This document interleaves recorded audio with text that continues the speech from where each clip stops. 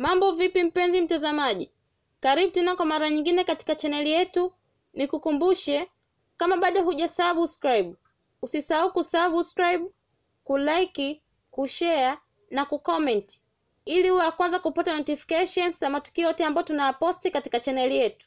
Sasa mpenzi mtazamaji, kama ambavyo tunamfahamu Zari ni mwanadada mrembo na mjasiriamali kutoka nchini Uganda, lakini pia Zari ni mama wa watoto watano na watoto watatu amezaa na marehemu Ivan na watoto wawili amezaa na Diamond Platnumz. Na hapa ilikuwa kabla ya Diamond kuingia katika mahusiano na Tanasha Dona, na ndo akabahatika kuzaa na Zari watoto wawili Tifa na Nilan. Sasa mpenzi mtazamaji, tukiachana hayo na tukienda katika lile kubwa ambalo limetuleta ni kwamba Diamond Platnumz katika mkesha wa mwaka mpya alikuwa yuko mkoani Kigoma na alikuwa anafanya tamasha la kufikisha miaka kumi yake katika mziki, na tuliweza kuona ameondoka na wasanii wengi tu,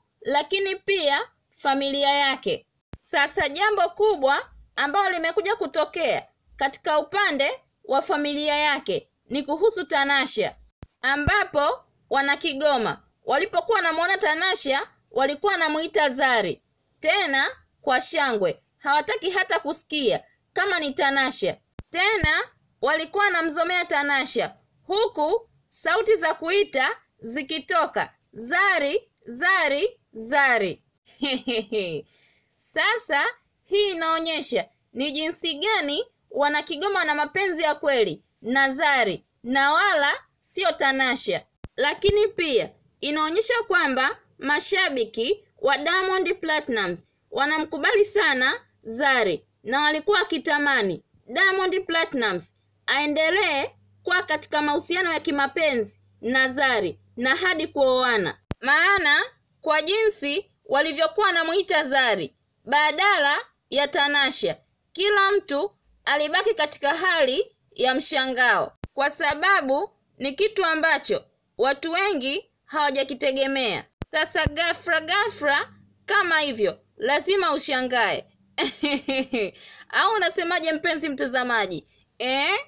Au ndo vile watu wanavyosema Zari ananyeta na Diamond Platnumz eh?